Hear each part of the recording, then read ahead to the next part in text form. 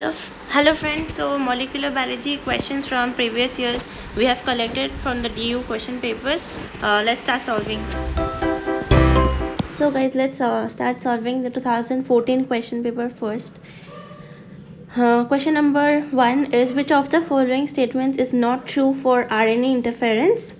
Uh, that is can result in a phenotype similar to a loss of function mutation.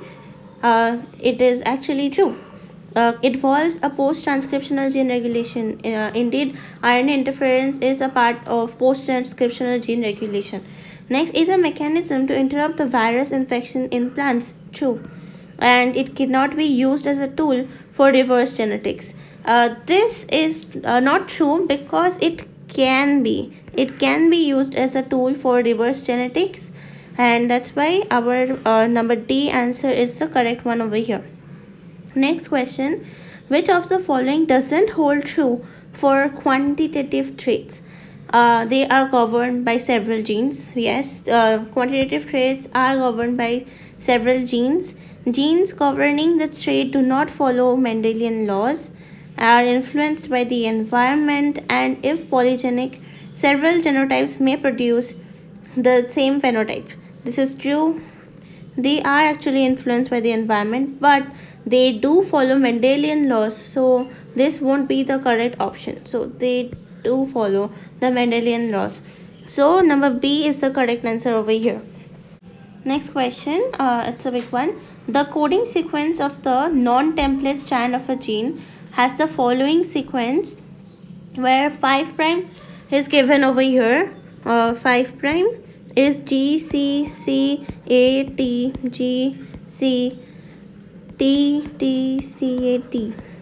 3 prime so they are saying that this is the non-template strand. So but we actually we know that uh, during the transcription the quote which is the coding strand which is the non-coding strand.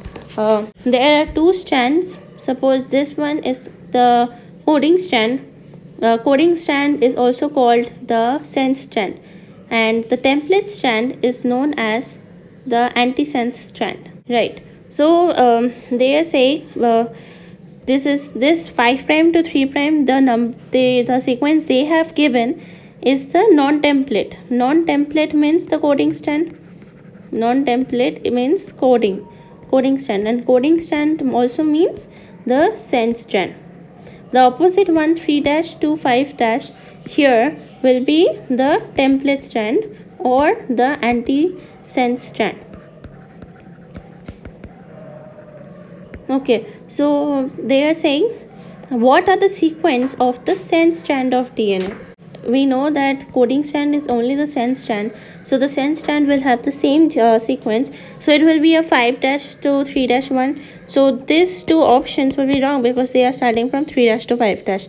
So we are left with b and d where uh, we can see the gcca T G C T T C A T same or here is also repeated. So these two are same. So now we have to check this two. What is that? That is and uh, they have asked the mRNA after transcription. What will be the sequence? So when uh, the when the mRNA gets formed after uh, transcription it will be uh, similar to this only. Only in case of T it will be U so in case of t it will be u over here u u so we can see this one is wrong because uh, here a is replaced by u right? So this is wrong. Our answer is number b. Hope you have understood. Uh, okay next question. Which of the following will hinder the equilibrium of allele frequencies in a population? Now equilibrium of allele frequencies this brings us to the, us to the principle of Hardy-Weinberg's. Right? So what Hardy Hardy-Weinberg said that if we do not support evolution, if we don't want evolution, what are the things that should be there? Okay. So is it absence of a new mutation, absence of a natural selection, large population size or genetic drift? Absence of new mutation will not lead to evolution. Therefore, it is fine absence of natural selection will also not lead to evolution so this is fine. Large population size is also correct but genetic drift is not correct. Genetic drift shouldn't be there because if genetic drift means what? Variability and more the variability more evolution there is. So that is the wrong answer. So uh, which one of the hinder which one of the following will hinder the equilibrium will be the genetic drift drift. So next question. A dna sequence codes for a protein with a mass of 61650 daltons. Assuming that the average mass of the 20 amino acids is about 137 daltons estimate the nucleotide pairs present in the coding region of the sequence.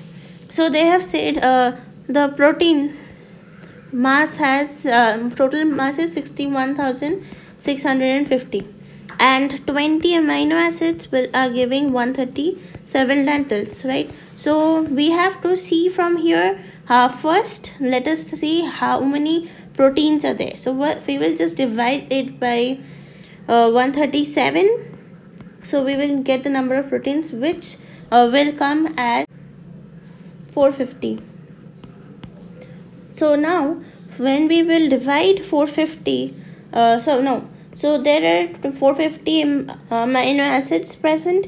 So uh, each amino actually each amino acid is actually of three nucleotides. So one amino acid is three nucleotides. Therefore, 450 amino acids will be 450 into 3 which is equal to 1350 nucleotides. So our answer is number B. Next question. In an experiment, bacterial cells were grown over several generations in a medium containing the heavy isotope of nitrogen as the only nitrogen source. The cells were then transferred to a medium containing 14N. Okay, after two generations of growth, the cells were harvested and then transferred to a 15N containing medium. So we can clearly see that they have been uh, going with the Meselson and Stahl experiment, right? So after two generations, huh, these cells were then transfer harvested and the DNA analyzed by CSCL equilibrium density gradient centrifugation. The expected percentage of the hybrid DNA that is 14 15 uh, 14 on one strand and 15 on the other where when cells were harvested from 14 in medium and then at the end of the experiment is. So when they were harvested from first time from 14 in medium it will be half that is 50% of it. And then after few generations what we will see? That uh, maximum 3 fourth uh, went to uh, so when after few generations the hybrid percentage will become the maximum that is 3 fourth of it and uh, 1 percentage or uh, 1 by 1 fourth of it will remain as 15 so our answer is 50 and 75 next question which one of the following statements is not true for a cross between the homozygous recessive and the heterozygotes. Uh, if we see, uh, uh, we draw a heterozygous dominant and a cross like this,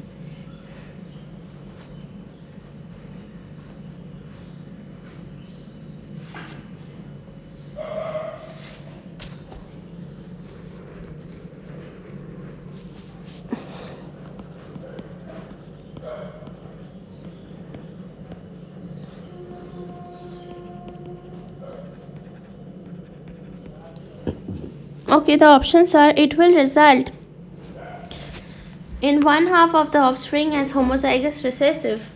That is true. We can see here and here. Next it will result in one of hops one half offspring offsprings as homozygous dominant. Well there is no one homozygous dominant over here. There are heterozygous dominants. Mm, so this is not true. It will termed as test cross. Yes it is termed as test cross because we are considering a homozygous recessive over here and both A and C is correct. That is true. Both A and C is correct. But we have been asked which is not true. That will be uh, option number B. So our answer will be option number B. Next is a mutant E. coli strain synthesizes the enzyme permease and beta galactosidase irrespective of the presence of the inducer that is allolactose. And this can result from which uh, mutation in which region? In the operator region repressor region structural region promoter region well uh, both is it both 2 and 4 2 and 3 1 and 2 or all of the above? Uh, we know that the main uh, one who controls the whole of it is that when allolactose comes and it binds to the repressor and the repressor cannot bind to the operator then only the uh, that uh, oper that operon is is uh, expressed right? But so they are saying that both permease and beta galactosidase is uh, resulting when if, even if the inducer is not present right? Right uh, so that means that the repressor is not functioning properly. So if the repressor repressor is not if somehow there is a mutation in the repressor and in the operator both of them will result in this type of function so our answer from all this will be 1 and 2 that is option number c so our answer is number c next question which of the following statement for the southern hybridization technique that is for DNA is not correct. It can be used for DNA fingerprinting. It is true. A technique is based on DNA RNA hybridization can be used to identify a specific DNA sequence. It can be used to identify the number of copies of a gene. All these are, I mean, number C and D is fine, but the technique is based on DNA RNA hybridization is actually wrong. Why? Because in southern hybridization, we are using a labeled probe that labeled probe is actually having sequences of DNA which are complementary to the gene of interest. So that means they are also deoxyribonucleic uh, acid sequences. So this is wrong. There is no RNA. So answer B is the wrong one and correct one here. So next is a cell with 32 chromosomes undergoes meiosis. The number of chromosomes in each daughter cell at the end of meiosis 1 and meiosis 2 would be uh, this is a tricky and a very important question uh, so first of all we'll go like this uh, so first this will be the cell with 32 chromosomes and it is undergoing meiosis. So it will result in first two cells and then total in total four cells will be coming out right? But in meiosis one only the reduction division occurs. And meiosis 2 is we know is just like uh, mitosis only. So here will only we will get 16 and 16 here also all the four uh, if they undergo mitosis they will have 16 16 16 and 16 so if they are asking cell at the end of meiosis 1 is 16 and meiosis 2 is also 16 so number a is the correct one over here. So 102a is the next. The process of segregation in meiosis results from very important question is it the separation of the two homologous chromosomes in anaphase 2 separation of the two homologous chromosomes in anaphase 1 separation of the sister chromatids in anaphase 1 and separation of the sister chromatids in anaphase 2 well uh, actually we have to uh, know that segregation in meiosis it actually happens in anaphase uh, anaphase 1 anaphase is a one um, stage where um, segregation takes place but segregation in meiosis is in it's an anaphase 1 now uh, people please try to remember that what is the separation? Is it the two homologous chromosomes or the sister chromatids in anaphase 1 Well, in meiosis 1 it is the two homologous chromosomes that separates. So our answer will be number b next question. A newly isolated bacterium was found to have a double-stranded DNA molecule containing 16% thymine and what will be the expected percentage of guanosine in the bacterial genome?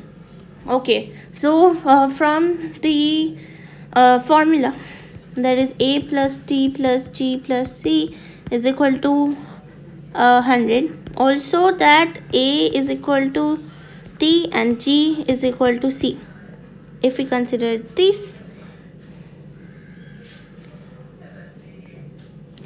then uh, 15 sorry why I'm writing 15 this will be 16 plus 16 plus x plus x. Uh, considering g and c to be x will be 100 so this will be 32 plus twice x is equal to 100 then twice x is equal to 64 and x is equal to 32 so our answer that guanosine will be which is actually x is 6 uh, 32 percent.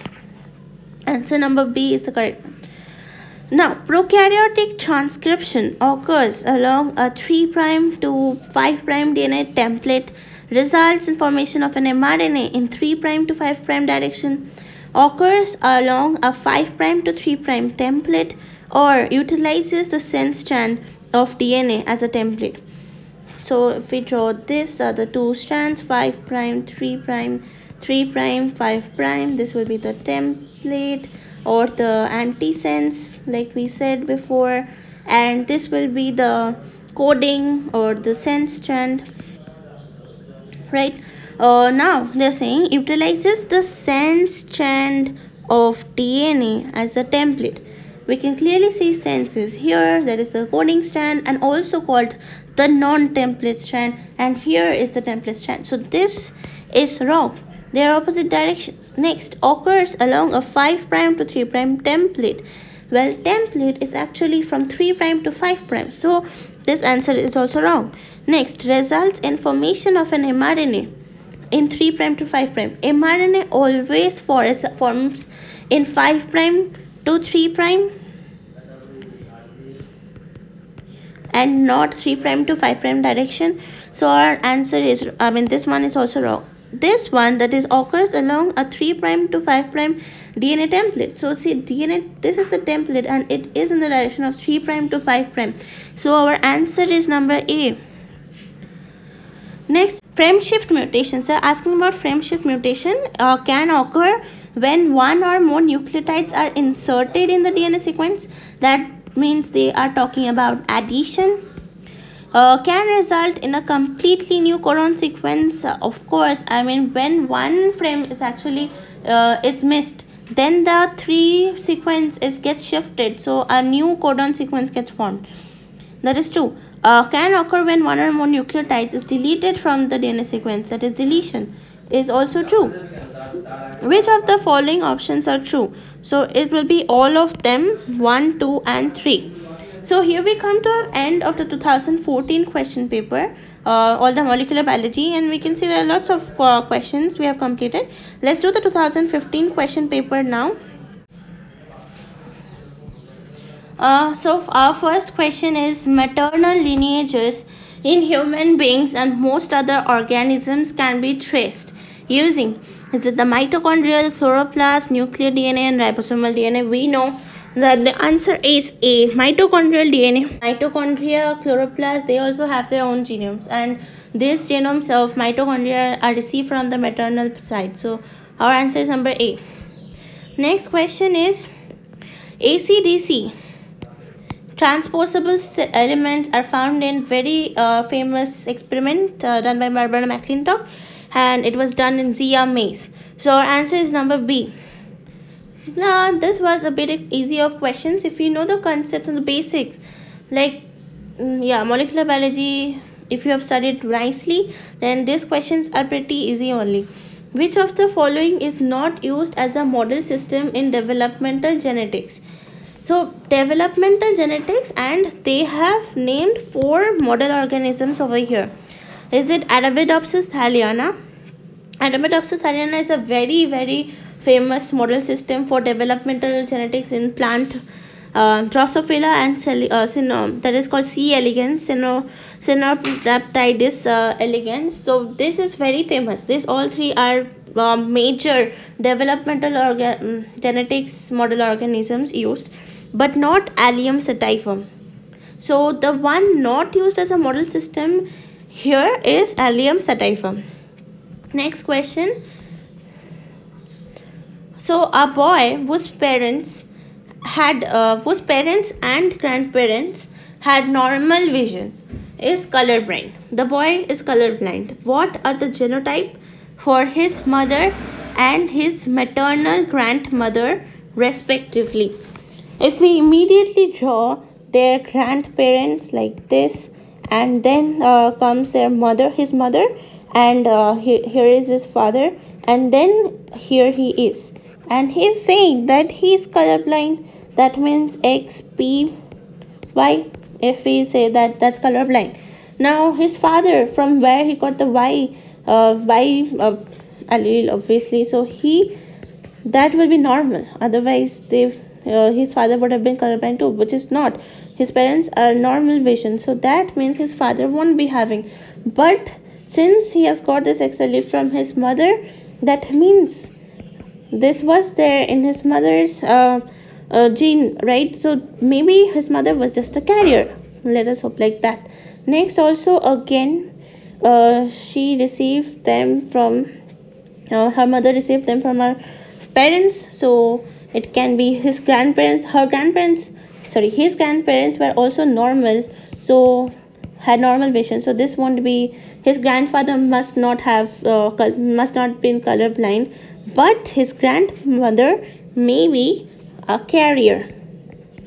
So from where uh, his mother got that um, carrier gene right? So i th- uh, the mother, grandparent this grandmother will have and his mother will be a carrier. So it will be this. Xb that is carrier and carrier. Okay. No. There have to be carriers so not this. So this one shows both of them are being carriers. So number c will be the right answer. Next question. The idea that for any particular trait the pair of alleles of each parent separate and only one allele from each parent passes to an offspring. Is Mendel's principle of is it independent assortment hybridization uh, segregation or dominance? Well it is obviously saying that each pair from each parent passes to an offspring. Is Mendel's principle of it will be segregation? Option number C. Next question um, miRNAs that is microRNAs are generated from nuclear DNA chloroplast DNA mitochondrial DNA do not require DNA for the generation which is absolutely wrong.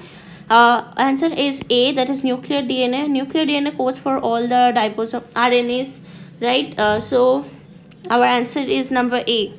Next is a lac operon would be inducible in. Lac operon is that uh, operon which uh, results in expression only when lactose is present in the environment right? So there will be there has to be uh, the options are absence of both lactose and glucose. If there is no lactose that means there will be it won't induce lac operon. So this is wrong. Presence of both lactose and glucose. Now when there is both lactose and glucose the bacteria chooses glucose because it is easier to metabolize so there uh, when lactose is present and glucose is present uh, lactoperon is not induced. So this is wrong. Absence of both lactose and sorry absence of lactose and presence of glucose. In absence of lactose lactoperon is not induced so this is wrong. But in the presence of lactose and absence of glucose absolutely when there is no glucose and there is lactose in the environment the bacteria takes it and it breaks up into glucose and galactose. So uh, it will be the option number D. Answer. Next question. Which one of the following is a codominant uh, marker? Is it AFLP, RAPD, ISSR or RFLP so what are codominant markers? Codominant markers are when you do uh, when you are using PCR suppose. There you can see both the bands for um, dominant A and recessive A on a jet. So you will know when it is homozygous and when is it it's heterozygous. When it's heterozygous there will be two bands. When, when it is homozygous it will be one band only and this example example of a codominant marker is RFLP so here our option option will be number D RFLP marker next question uh, which one of the following statements is not true not true for the genetic code. It is is it overlapping universal degenerate triplet in nature? The genetic code principles we know uh, that is it is triplet in nature it is degenerate and universal. But it is also that it is not overlapping. So this is the one which is uh, not true. So our answer is number a.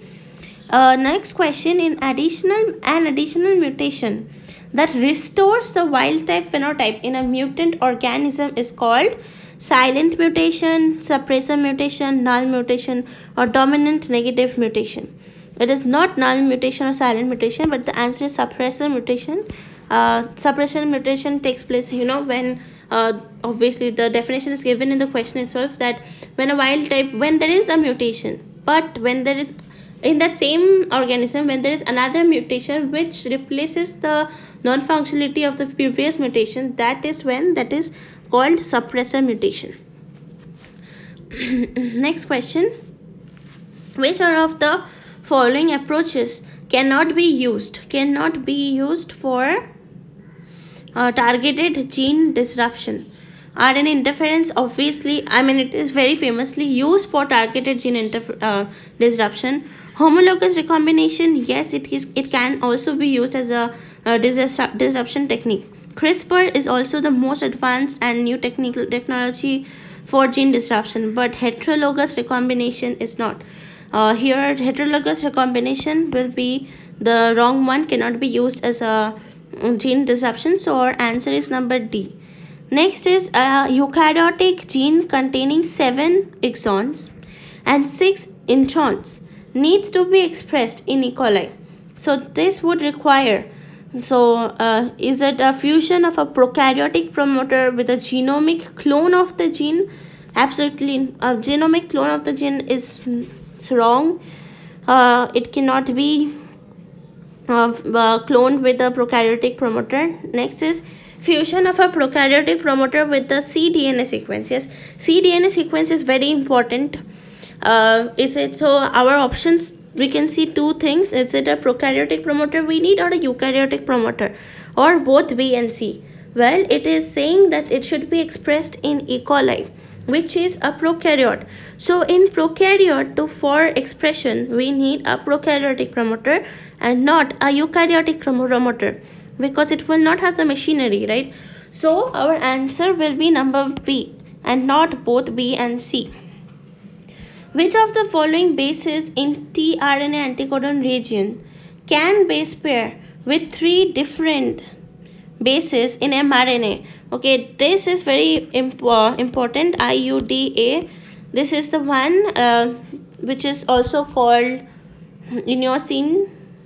Uh, that is uh, anticodon which is present in tRNA and it can base pair with three different bases. So our answer is number A. Next question. Which one of the following statement is true for the rho factor? So is it cause transcription termination of all the genes in E. coli mm. is present in both prokaryotes and eukaryotes? No, it's not present in eukaryotes.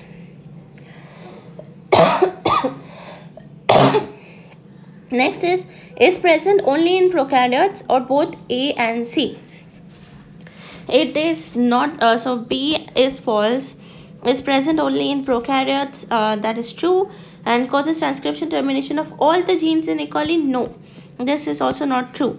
And so a is false so this was also not true. The option number c is the correct one that is present only in prokaryotes. Okay which one of the following statement about the composition of dna is false is it a by t is equal to c by g? T by a is equal to g by c. That means this both are the same given. So this means they can't be the answer. Next is a plus t is equal to g plus c or a plus g is equal to c plus t. Obviously this is the wrong one. That is a plus t is not equal to g plus c. So 110c is the correct answer. Next is which one of the following techniques can be used to determine the transcription start site. So, is it western blotting, northern blotting, primer extension or DNA footprinting? Uh, it will be primer extension because we know for the transcription start site we need a primer. Yeah. So our answer is number C. so here we have come to the end of uh, two years paper uh, questions of molecular biology we shall do the next uh, part of the molecular biology questions from previous years in the next video. Thank you for watching